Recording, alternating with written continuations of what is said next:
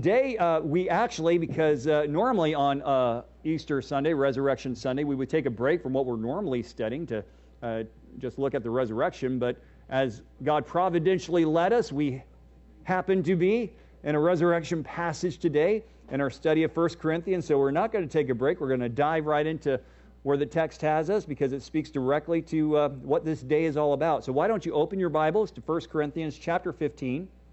1 Corinthians chapter 15. If you don't have a Bible with you, there should be one uh, in the chair in front of you in that little pocket. Um, feel free to take that home with you. We want you to have a Bible, and that's our gift to you. But why don't you uh, stand up and we'll read this together. I'll, I'll read it, and then we'll pray. We'll get into our message for today. 1 Corinthians chapter 15, verse 1 says, Moreover, brethren, I declare to you the gospel which I preached to you, which also you received, and in which you stand, by which also you are saved, if you hold fast that word which I preached to you, unless you believed in vain. For I delivered to you first of all that which I also received, that Christ died for our sins according to the Scriptures, and that he was buried, and that he rose again the third day according to the Scriptures and that he was seen by Cephas, then by the twelve. After that, he was seen by over 500 brethren at once, of whom the greater part remain to the present, but some have fallen asleep. After that, he was seen by James, then by all the apostles. Then, last of all, he was seen by me also, as by one born out of due time. For I am the least of the apostles, who am not worthy to be called an apostle, because I persecuted the church of God. But by the grace of God, I am what I am and his grace toward me was not in vain, but I labored more abundantly than they all, yet not I, but the grace of God which was with me. Therefore, whether it was I or they, so we preach, and so you believed. Let's pray. Father, what a fantastic scripture for us to look at this morning. And I pray as we talk about the gospel, that the gospel would be believed by every single one of us in this room and beyond today. The gospel, Lord, is not just for the lost, it is for the saved. Because we need to know how Christ died for our sins, was buried, and is risen from the dead. Lord, we love you. We pray this in Jesus' name. Amen. You may be seated. So happy Resurrection Sunday. Today is Easter, the day that Christians around the world celebrate Jesus' resurrection from the dead. It is the day that marks Christianity apart from every religion in the world. It is the day without which we would not have Christianity. Although Christmas gets far more press, a lot more cultural attention, it's got a full month plus designated for special shopping and music and that sort of thing. Easter has far more importance. After all, Christmas is only special because Jesus rose from the dead. If he did not, then nobody would have really cared if he was born or how he was born. The resurrection of Jesus Christ is the pivotal event of history, and it's the event that we celebrate this day, and it's really why the church meets on Sunday instead of Saturday all through the year. So, what's the big deal? The resurrection of Jesus of Nazareth is what makes the gospel the gospel.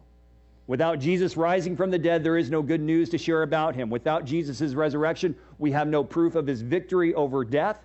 We have no declaration of his deity. We have no eyewitness apostles. We have no reason for Paul to traipse around the Roman Empire. We've got nothing. Without Jesus' resurrection, we have no news to share, much less good news.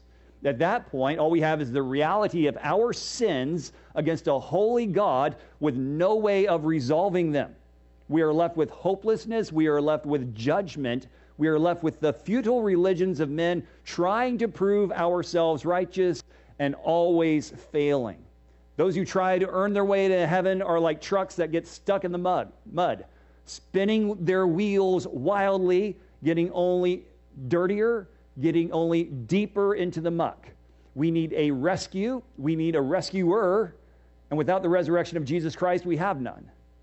But praise God, Jesus is risen from the dead. Jesus is alive today just as he has been alive for nearly 2,000 years since he first came out of the Jerusalem tomb. And because he is, we have good news to share, good news to believe. And not just kind of good news, it's the best news the news of God's salvation. Now, this is the news that Paul shared with the Corinthian church at the beginning of chapter 15. Paul had just concluded his discussion of spiritual gifts, and that came on the heels of a longer discussion of orderly worship within the local church.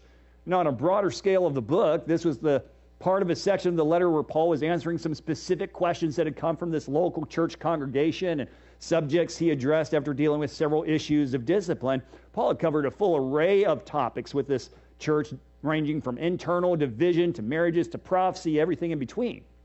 At this point in the letter, uh, really broad scheme, Paul's starting to bring things to a close, but as he does, he addresses one more major, major subject. And this is something he's had in mind really since the letter's very beginning. All the way back at chapter 1, Paul wrote how the message of the cross was foolishness to those who are perishing, but to us who are being saved, it is the power of God. Chapter 1, verse 18.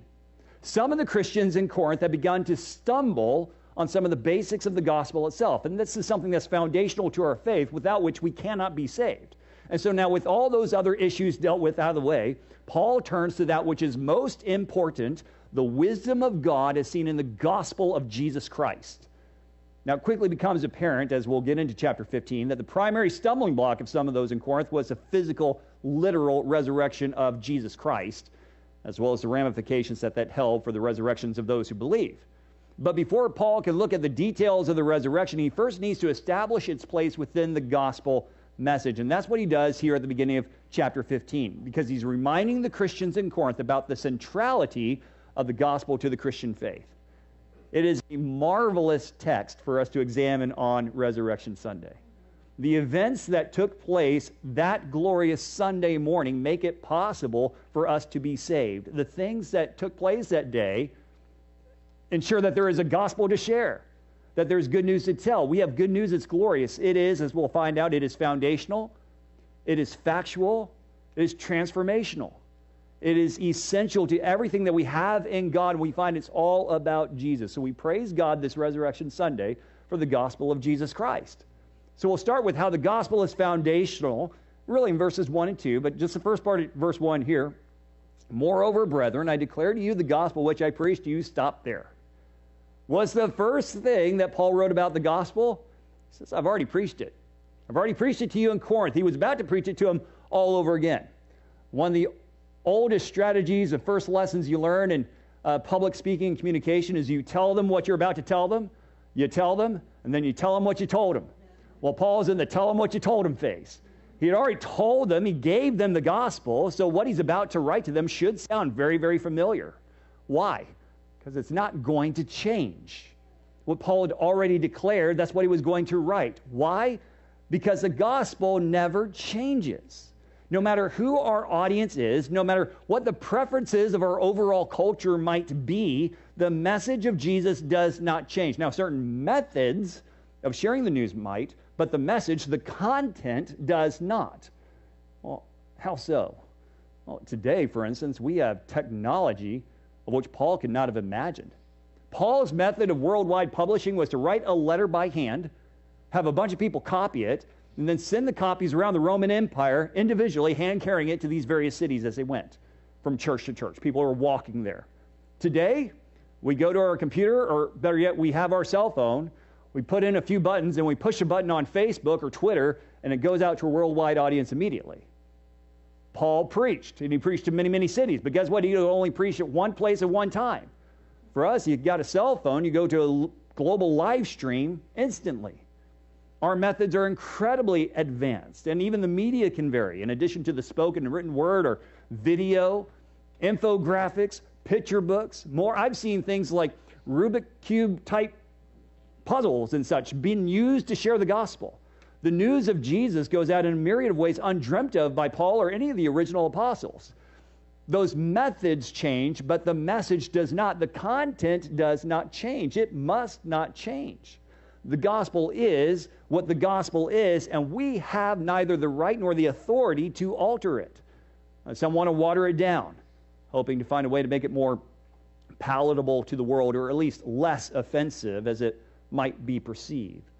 Uh, that's not our job. That's not in our purview. We are stewards of the news, not the originators of it. We're not the owners of it. we cannot change what God has set forth. So, beloved, beware that you do not change the message. And likewise, beware any pastor, any teacher, any evangelist who attempts to change the message. In his letter to the Galatians, Paul put a warning uh, to the church in the strongest of terms. And he said in Galatians chapter 1, verses 8 and 9, But if we, including himself, or an angel from heaven preach any other gospel to you than what we have preached to you, let him be accursed.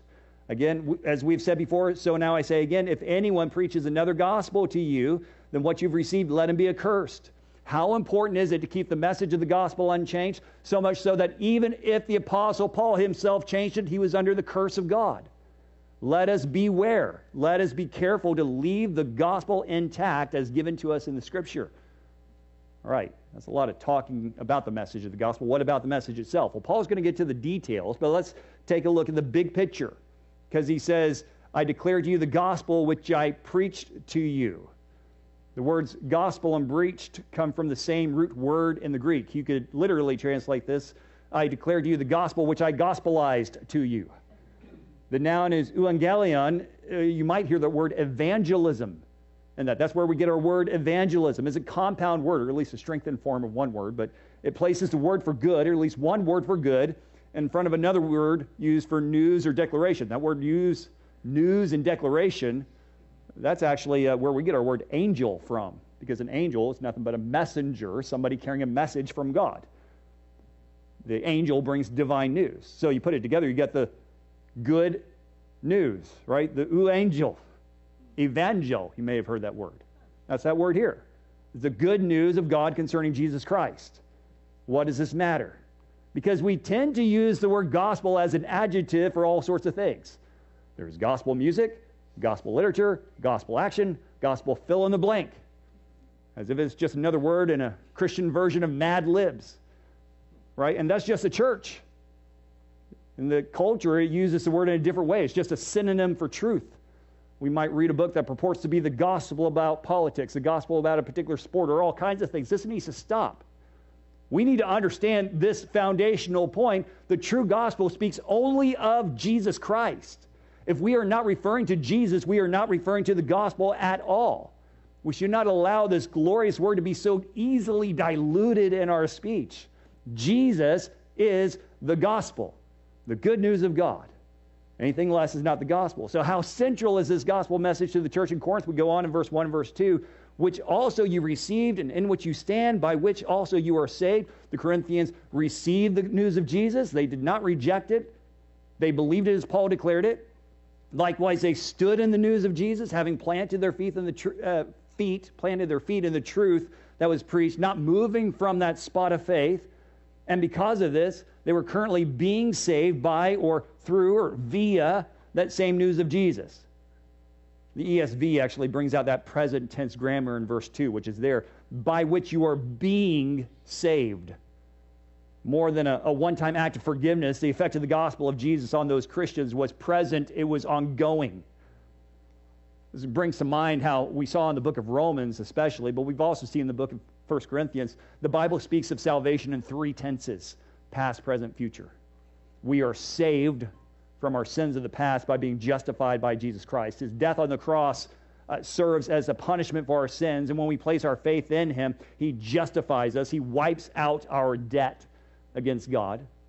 Second, we are presently being saved from our sinful nature in the process of sanctification. And this Jesus frees us from the power that our sinful nature has over us so that we need not get it, give in to that slavery of temptation. And then, third, we will be saved in the future and that day when we're removed from the very presence of sin through the act of glorification. One day our bodies will be resurrected along, of course, with Jesus, to be with Jesus. Paul is going to address that later in the chapter. And in that day we will live in Jesus' kingdom, altogether free from our sinful condition. Now, Paul's point here for Corinth is that they're already experienced or experiencing those first two tenses because they received the gospel and stood in it. They were justified by Christ. They were truly forgiven of their sins. They were made new creations by the grace of God. And because of their current faith, their ongoing faith, they were currently being saved, continually sanctified by the grace of God as they're being made more and more into the likeness of Jesus. God had done and was doing a mighty work among them in which they could rejoice. But there's one disclaimer as he finishes out in verse 2 if you hold fast that word which I preached to you, unless you believe in vain. Now, that if stands out in a major way. Now, all of what Paul wrote for Corinth was absolutely true if they held fast to the gospel. Now, it needs to be pointed out by the grammar used by Paul. It indicates this is not a fear of his for this church. Uh, he was certain that this was indeed the belief for the Corinthians. Uh, the grammar indicates that here. But even so, their one guarantee of their salvation is to hold fast to the gospel preached to them, not being those who believed in vain. Make no mistake, there are some who believe in vain. There are people who walk through the doors of a church building who know all the right words, can even recite basic biblical doctrine about Jesus, particularly on an Easter Sunday morning, yet who do not themselves hold fast to the message. They do not believe. For them, the words they speak are empty words. The faith that they present is just a facade. And there's a theological term for that kind of person it's a false convert. Maybe a guy raised his hand during a preacher's invitation wanting to go to heaven, but he didn't surrender himself to Jesus to be his Lord. Maybe a, a, lady was told she could fill the spiritual void in her heart, but she didn't turn away from her sins to follow Jesus. She never believed upon Christ for who he is. Whatever their faith was in, it was not in the Lord Jesus Christ crucified for their sins, risen from the dead. They may have believed in something, but they didn't believe in the gospel, so all their other belief was in vain. Please do not let that be you. Especially on Resurrection Sunday, take the time to examine yourself to see if you are in the faith. Take a hard look at your beliefs to determine if you hold fast to that gospel, the good news about Jesus, because only those who do have any assurance of salvation. If your hope in Jesus is based on anything other than Jesus, if your hope of heaven is based on anything other than what the Lord Jesus Christ has done and who the Lord Jesus Christ is, then you have no hope of heaven at all. At that point, you are not being saved. But you can be. You want to hold fast to the gospel of Christ. This is foundational. You can't get much more important than this. This is the access that we have to the promises of God. It is the assurance of our deliverance from sin and our future in the presence of God. It is essential to believe. This gospel is essential to keep. Well, what's the message? It's the factual testimony of Jesus Christ. That's what we pick up in verses 3 through 8. The gospel is factual. Paul first says in verse 3 For I delivered to you, first of all, that which I also received. So in verse 1, Paul wrote of how he preached the gospel to the church of Corinth, as this is the message that he was going to deliver to them all over again. Well, guess what? It was a message that had been delivered to Paul himself. Paul did not invent the message. He, like every other gospel preacher, was a messenger. It had been given to him, he passed it on to others. This tells us something important that Paul received the message confirms that it existed long before the writing of the letter of 1 Corinthians. Paul likely learned it, this particular formulation. He learned that from the initial Christians he met in Damascus following his own conversion some 20 years earlier. Now, considering that Paul wrote this letter around 54 to 55 AD, having first ministered in the city around 51 AD, we can place his conversion somewhere around 36 AD. That means a fully formed Christian creed or confession of faith existed outside of Jerusalem within three to five years of Jesus' resurrection from the dead. Now, for all the skeptics out there who claim that the story of Jesus' resurrection was a myth that developed over time, the historical facts just do not present that as a possibility. It takes years, it takes even decades for myths to develop. In this case, doctrine was being formulated and taught within only a couple of years from the event itself. We have presidential terms that last longer than what it took for the gospel to be systematically taught to new believers. It underscores the idea that the gospel is historical fact. The good news of God is not too good to be true, it's good because it is true. All right, so let's look at that message. That Christ died for our sins according to the scriptures, and that he was buried, and that he rose again the third day according to the scriptures. We're going to take some time to break that down. Starts off with Christ. Note that Paul gives a title rather than a name. Not that anything's wrong with the name of Jesus, far from it. The name Jesus, just translating, it encapsulates the gospel itself. It means Yahweh is salvation, or the shortened form of Yah saves. Uh, this was a name specifically designated by God during Mary's pregnancy for his only begotten Son. It is a name that's above every other name. It's wonderful. But for Paul's purposes here, it's also wonderfully common. Jesus is the anglicized Greek version of Joshua, a name extremely common among the first century Jews. Imagine if Paul wrote, Josh died for our sins according to the scriptures. Theologically correct, but his readers might have asked, okay, great, which one? Uh, they may have known a dozen men named Joshua or Jesus, so they needed some distinction. Now, Paul could have done this legitimately by saying Jesus of Nazareth. That's the name that Peter used the day of Pentecost in Jerusalem, Acts 2.22, but he didn't. Here he wrote Christ. Why?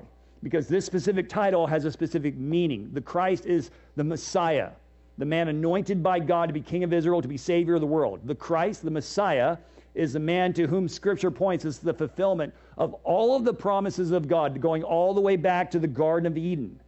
This is a person of great importance. This is the man upon whom rests the fate of the universe. This is the man at the center of the good news of God. The gospel, of course, is all about Christ. Just to emphasize the point, don't gloss over that. The gospel is not about life fulfillment.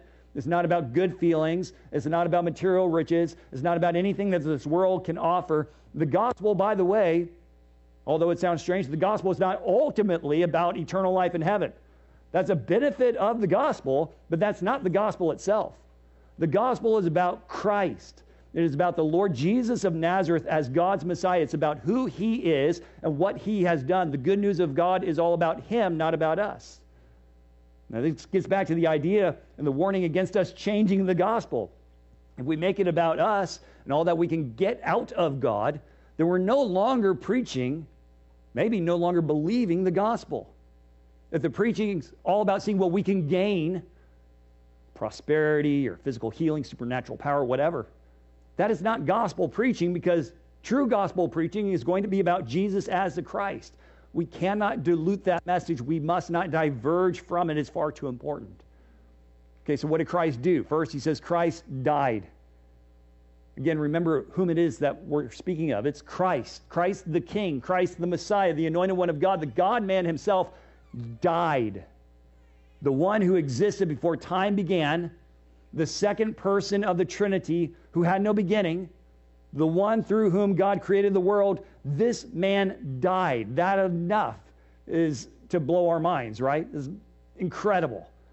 How is it possible that the Christ could die? Now, without question, this was unthinkable in the minds of the first century Jews. Now, they anticipated Messiah's arrival. They were looking forward to a great military victory that he'd bring to the Romans, over the Romans, restore their land to independence, restore the kingdom of Israel to prominence. Certainly, that was on the minds of the original disciples. That's why they scattered so quickly when Jesus was arrested. They, they hid themselves behind locked doors when Jesus died on the cross because with that, all their hopes died.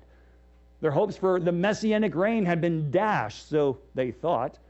The man whom they trusted was gone. He was bruised. He was beaten. He was nailed to the cross. And it was upon the cross that he died. And the weight of that fact was crushing to them. We look back 2,000 years later and we kind of chastise them in our minds. Say, you know, but Jesus warned them about this. They should have listened. Yeah, they should have, but you wouldn't have listened either. They were humans just like us. They did not want to believe that Jesus could suffer and die on the cross, but he did, and they were devastated. But there's a reason for Jesus' death, one which we dare not forget, because this too is part of the gospel. Specifically, what did Paul write? Christ died for our sins. Now, this is what we remember on Good Friday, though we dare not limit it to Good Friday. Jesus died as a sacrifice, as a substitution. And this is why it had to be Christ and not just anyone because it was Jesus, because it was the Son of God incarnate as the Christ. The death that Jesus died served as a sufficient substitute for sinful people like you and me. Now, admittedly, this is kind of difficult for some of us to relate to, especially as 21st century Western people. coming from a primarily Gentile culture, we have a difficult time understanding the need for sacrifice. To us, sacrifice is just something we give to somebody else. It might even be valuable. We talk about a sacrifice of time, a sacrifice of money. It might even include a life. We talk about a soldier sacrificing his life or her life for the country that, that he's serving in. But that's a one sided sacrifice. That's something that doesn't have any kind of correlating response. To the ancient Hebrews following the law of Moses, sacrifice is something far different. That kind of sacrifice did something. And this kind of sacrifice required blood. It required the life of an animal that served as a judicial substitute for one's own sins. See, you had sinned against God, and the wages of your sin was death, but you obviously cannot personally pay that price for obvious reasons. So you put an animal in your place, and the death that you should have received was administered to that animal so you could live. And you knew that the blood that came pouring out from that animal's neck as it was slain, that should have been yours. Of course, there's a problem. You kept sinning. So you had to keep giving animal sacrifices. Moreover, the value of an animal, as much as we love our pets, the value of an animal never equals the value of a person. Thus, a sacrifice is always insufficient. This is where the death of Christ comes in. His sacrifice is sufficient. The death that he gave was given in place of your death. The punishment that he received should have been your punishment. The blood that poured out of his body should have been yours, but it was his. And because it was his, it serves not only as a sufficient payment for your sins, but an overwhelming payment for your sins, and not your sins only, but the sins of the whole world. As the hymn says, Jesus paid it all. So Christ died for our sins, and Christ was buried. Christ was buried. This too is part of the gospel of Jesus Christ. Why? Because it's a reminder that Jesus was really dead. It's a reminder that even his initial disciples believed it was over. When Jesus died on the cross, it seemed like all their hopes had died with him. You remember there were two men that were walking on the road to Emmaus on Sunday morning, and they, they said to a, whom they thought was a stranger, was actually was Jesus. He was hidden from their sight, uh, from recognizing him before they knew it was him. They said, We were hoping that it was he that was going to redeem Israel. Luke 24, 21. They hoped that Jesus was the Messiah, but now that's all over. In their minds, how could he be the Messiah if he's dead? They needed a living Christ for the promises of God to be true. With Jesus dead, those hopes had died. Thus, they buried him. Remember, Joseph of Arimathea gave his own unused tomb for the body of Jesus, and he and Nicodemus the Pharisee packed the body with a hundred pounds of spices, wrapped it according to Jewish custom, and they placed this massive stone in front of the door. They would have done none of it if they had the slightest expectation of Jesus to live. Moreover, there's no chance they would have done it if they had any suspicion that he was still alive. Of course, a Roman centurion had verified the death of Jesus, pierced his side with a spear some people think that he was still halfway alive when he went into the tomb. You know, if neither the cross nor the spear killed Jesus, surely the smothering of all the spices and the wrapping would have finished the job. The point is that Jesus was truly dead. The price was paid. Without the real and verified death of Jesus, we have no payment for our sins. But it was real, it was verified to the point that Jesus was buried in a literal tomb. But then it goes on, the gospel does. It says that Christ rose again. This is where the good news becomes good. This is why the gospel is the gospel. On the third day, after Jesus gave his life on the cross for our sins, Jesus rose again to new and glorious life. Now we remember the biblical account how the women who believed in Jesus still wanted to somehow attend to his body in devotion to him, even though they didn't have the opportunity to do so on the day that he died. Why was that? Because the sun had set, the Sabbath had begun, so women really have no choice except to wait until Sunday morning. They start out at the earliest opportunity, right as the light was beginning to break. They go to the tomb with their spices and their materials. Now, how they're supposed to move the stone in front of the tomb, that's a piece of the puzzle they didn't solve yet. They hadn't figured it out. All they knew, they needed to get to Jesus' grave.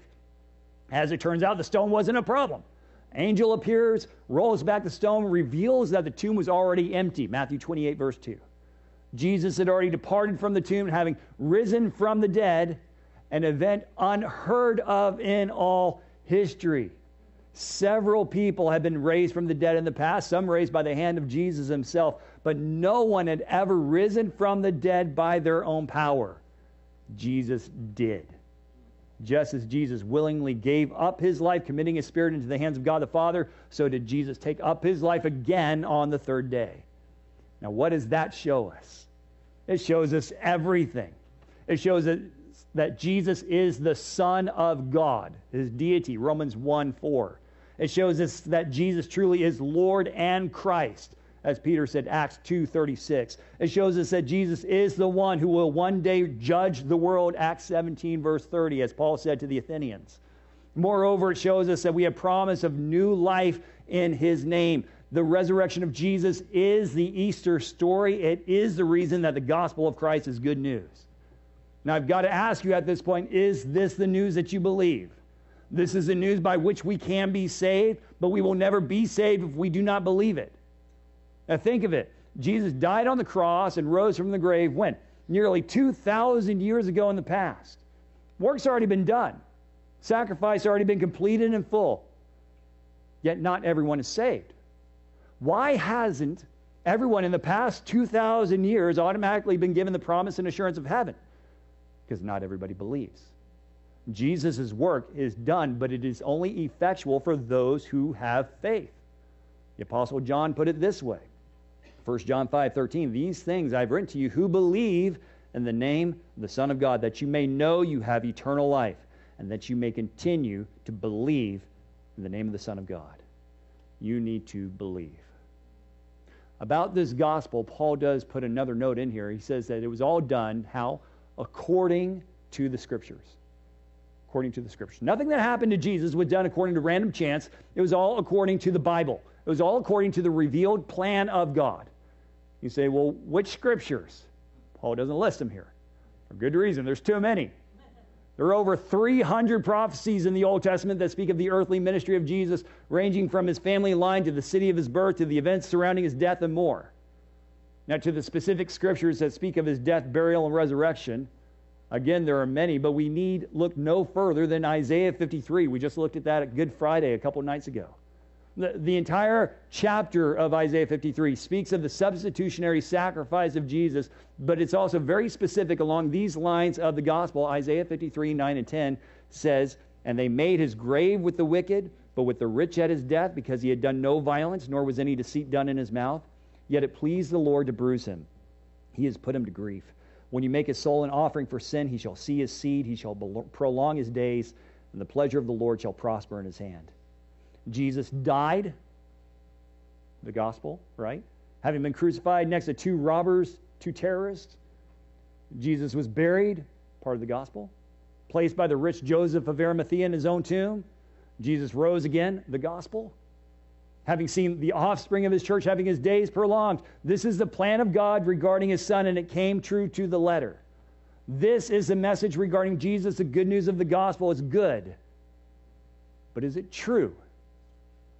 You know, the best story in the world does nothing for us if it's just a fairy tale. How can we know that Jesus actually rose from the dead? Well, that's what Paul goes on to describe. We can know that this is true because Jesus was seen. His physical person was witnessed not just by one, but by many people. Verse 5 And he was seen by Cephas, then by the 12. That Cephas, by the way, that Peter, that Peter is mentioned first is not just a matter of historical record, it's a demonstration of great grace. Now, we need to acknowledge that Peter was not the first witness to see the risen Lord Jesus. That privilege was given to Mary Magdalene and the other women who had steadfastly followed Jesus, believed in him. But Paul is not writing of each and every witness. He's naming the ones that the, you know, the Christians in Corinth would have known. And they had personal experience with Peter, or Cephas as they called him. So it's only fitting that Paul begins his list of eyewitnesses with Peter. The issue of grace is important due to Peter's last final interaction with Jesus prior to Jesus' crucifixion. After boasting how he would never, never leave Jesus, how all the other disciples would abandon him, but how he would never, ever deny Jesus, uh, Peter had a massive reality check. The mighty Peter, the de facto leader of the apostles, did deny Jesus in a major way. He crumbled at the questions of a little girl around a campfire within eye shot of Christ. Like so many of us, Peter temporarily turned his back on the man he claimed as Lord. Peter failed. But the good news for Peter is that his failure was not final. Jesus died for the sins of Peter, just like Jesus died for your sins and that he died for my sins. When Jesus rose from the grave, he made special effort to ensure that Peter knew that Jesus was risen. He said, Go tell the other disciples and Peter. Peter had to know. And then Peter saw Jesus. Peter even had a, a, special meeting with Jesus later on, restoring him to full ministry. Peter found forgiveness in the risen Lord Jesus Christ, just like anyone can. And it wasn't just Peter who saw Jesus, it was all the 12. Interestingly, the official 12 had dwindled to 11 after the betrayal of Judas Iscariot. But that said, there were other men present, as acknowledged by Peter when, you know, uh, Matthias was officially added to the number prior to the baptism of the Holy Spirit. Read about it in Acts 1. But just as there was grace shown to Peter and Jesus' resurrection, so was grace shown to each and every one of the apostles. Remember that although Peter denied Jesus in a particular way, all of the apostles abandoned Jesus.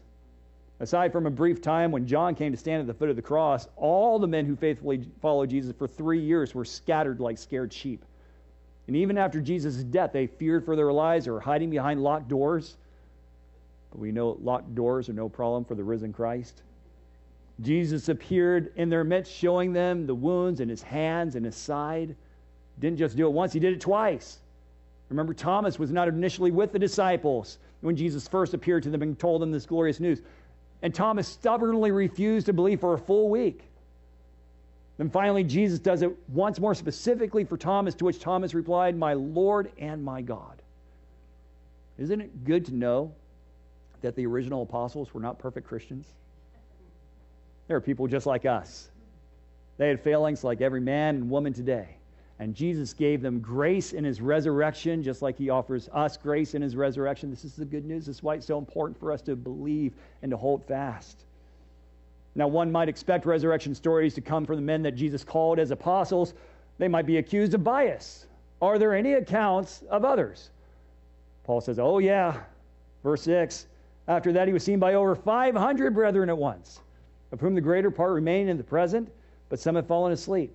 500 people. When did the meeting with 500 people take place? Scripture doesn't directly tell us. Uh, many scholars believe it to be the gathering in Galilee when Jesus gave the Great Commission in Matthew 28, verses 18 through 20. Uh, Paul was less interested in giving the details of the meeting than he was giving the, the Corinthians references, eyewitness testimonies. He's basically telling them, you don't have to take my word for it. You don't even have to take Peter's word for it. Go ask the folks from the 500. Most of them are still around today. Shoot them an email, find out. Go check it out for yourself. No, according to Hebrew law, it only took the agreement of two to three witnesses for a matter to be established as judicial fact a man could actually be put to death for murder on the basis of the testimony of two to three witnesses. Deuteronomy 17, verse 6. How many witnesses has Paul named so far? 512 and counting. The amount of eyewitness testimony is overwhelming. Now, the objection that comes up to that is, oh, that's just eyewitness testimony. That, that doesn't prove anything. On the contrary, yes, it does. There are two ways of establishing scientific fact, or two ways of establishing fact, I should say. One is scientific testing by which phenomenon can be reproduced, or judicial or historical testimony, as in a court of law. Historical events, by definition, happened in the past.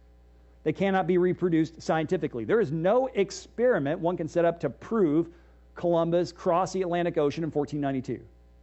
All we can do is look at the historical documents. We can look at the evidence that's left behind. We can look at the testimonies of the people who lived at the time. Same thing happens in criminal courts today all over our nation. Evidence is presented to a judge, sometimes the only evidence being eyewitness testimony.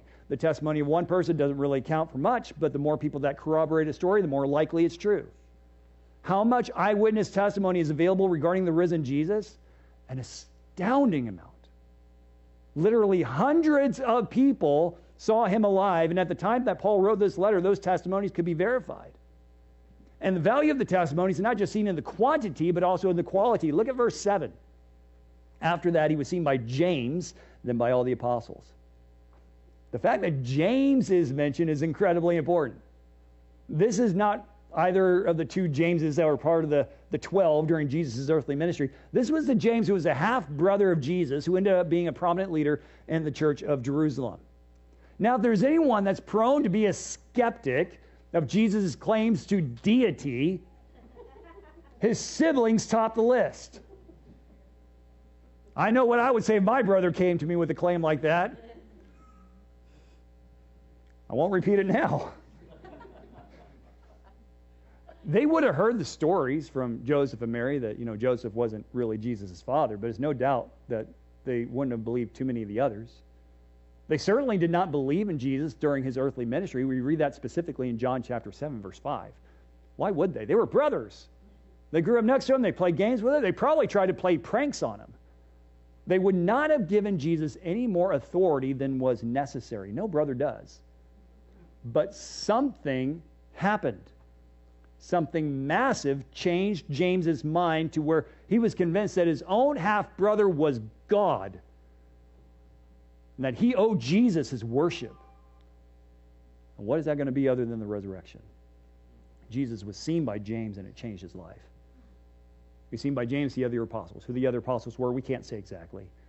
The official 12, they're already mentioned by Paul. Second grouping probably included the 12, included James, Jude, who was another half brother of Jesus.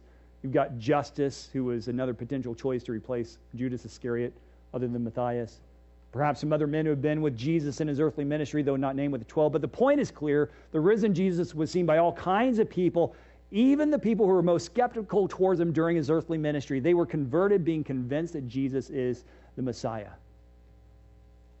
And then as Paul continues on, he says, And speaking of skeptics, let me tell you one more. Verse 8 Then last of all, he was seen by me also as one born out of due time. Finally, there was Paul Paul's own conversion is recorded three times in the book of Acts, and his personal something, a personal testimony was something he often shared, and for good reason. His testimony was powerful, something that he reminds us of in the next couple of verses.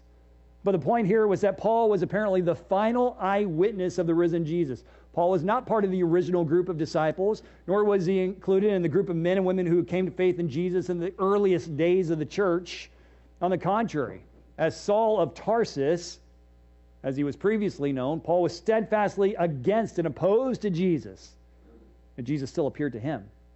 And like a baby being born unexpectedly, so was Paul reborn as an apostle of Jesus Christ and an eyewitness of the risen Lord. He could add his own voice to this chorus of testimony surrounding Jesus. Okay, now it brings up a question. What about today? We are nearly 2,000 years removed from Jesus' resurrection. Any eyewitness to Jesus' resurrection from the tomb is long dead, buried, rotted, gone. Now, sure, there are occasional stories of visions, some of varying credibility. Some stories are plainly lies, others are perhaps grounded in truth. But as for anyone actually laying eyes on the physical resurrected person of Jesus of Nazareth, those days are over. Yet it does not stop us from testifying of the risen Jesus. Why? Well, number one, we have the eyewitness testimonies in the pages of the New Testament. The four gospel accounts are based on the testimonies of the men and women who were there. Paul's own letters speak of his experience as well as does the, the book of Acts. And the other epistles, the general epistles, testify of those authors' experience with the risen Jesus. Now, we may not have access to the 500 you know, men and women mentioned by Paul to, to Corinth, but we do have the eyewitness testimonies of the apostles. That's number one. Number two, we have our own personal testimonies of Jesus Christ. Now, no, we've not seen the risen person of Jesus, but we have experienced him through faith. Every single born again Christian has a real relationship with the real resurrected Jesus Christ. It cannot be otherwise if you are saved. If you do not believe in the risen Jesus, you are not born again, period. But if you are, it means you pray to the living God. It means that you interact with the living God. It means that we've been saved by the living God known in the person of the risen Jesus. You can testify to someone else of Jesus because you know that Jesus is risen from the dead. Jesus' resurrection is a fact. It's not some myth based on the imaginations of deluded men. It's not dogma invented by a cultic group, it's historical, factual truth. Moreover, this truth changes lives, and that's how we'll end out quickly here with the idea that the gospel is transformational. Transformational. Verses 9 and 10 For I am the least of the apostles, who am not worthy to be called an apostle because I persecuted the church of God. But by the grace of God, I am what I am, and his grace toward me was not in vain. But I labored more abundantly than they all. Yet not I, but the grace of God which was with me. Here's where Paul writes of the effect of Jesus' resurrection on his own life. Yes, he was the last to be called by Jesus to be an apostle. He was the last to be called an eyewitness. It was just a privilege to be called. He wasn't worthy to be called, but he was. Paul persecuted the church of God, but something changed. He was given grace. How much grace? An abundance. Three times in one verse, he talked about the grace of God that he received. Grace made Paul who he was, an apostle. Uh, the grace of God was effectual in Paul's life, not being in vain. The grace of God enabled Paul to engage in ministry. Everything that the Corinthians knew of Paul was all due to the grace of God. God transformed Paul totally from the inside out. It changed him from a persecutor to one who was often persecuted. It changed him from one who hunted the church to somebody who planted the church. The grace of God changed everything about him. And, and how did this grace come? Well, this is the whole point why Paul's writing. It came through the gospel. How is anyone transformed by Jesus? Through the gospel. When we respond to the good news of Jesus Christ, we are showered by the grace of God. His grace forgives us of every sin, cleansing us from our past, making us who we are now as new creations. His grace enables us to live for His glory, empowering us by the Holy Spirit to, to do things we never thought possible. It shouldn't be possible. Who are we other than wretched sinners? Who is I other than a wretched sinner? And apart from the grace of God, that's still who I am. But in Christ, I am saved. In Christ, you are saved. Because of the grace of God through Jesus Christ, I am what I am, sealed and filled with the Holy Spirit that I might live to the glory of God. That's my testimony, and that's your testimony if you believe. And it can be anybody's testimony if they believe. Verse 11, therefore, whether it was I or they, so we preached and so he believed. So he takes it right back to where he began. He gave this church the gospel and he could testify of the risen Jesus, the grace that Jesus provides. And if Corinth heard it from anyone else, it didn't matter. It didn't change the message because Jesus is the one who changes lives.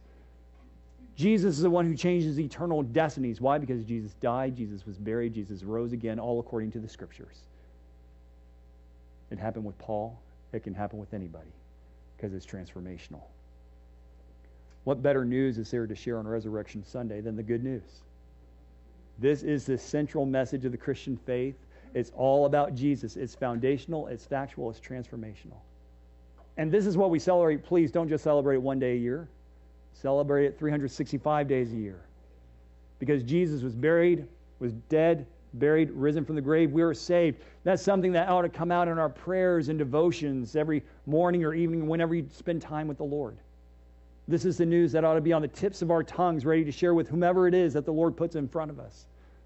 If this is the news that changed Paul, if this is the news that changed you, then this is the news that can change anyone, even the hardest of hearts. Christian, hold fast to what you have heard. Do not underestimate the importance of the gospel of Jesus Christ. Let this be the news to which you cling every morning and every evening. This is what we need to preach to ourselves all day, every day.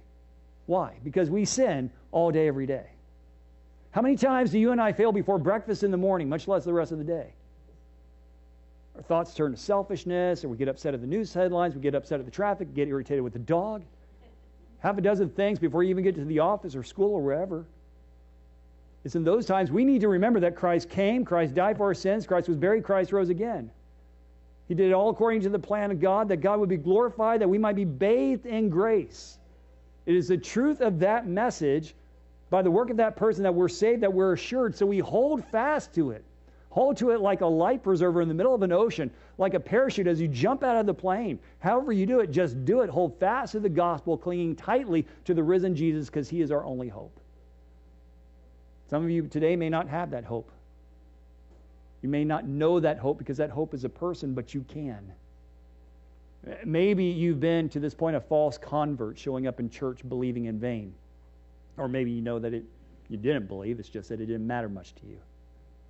I implore you today, cast yourselves on the mercies of Jesus Christ.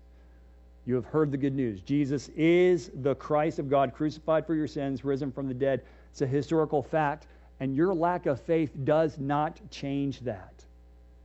One day you will stand before Jesus in all his glory, and you will be judged for your life based on how you responded to his gospel. And you know what? Once you've heard the truth, you can't unhear it.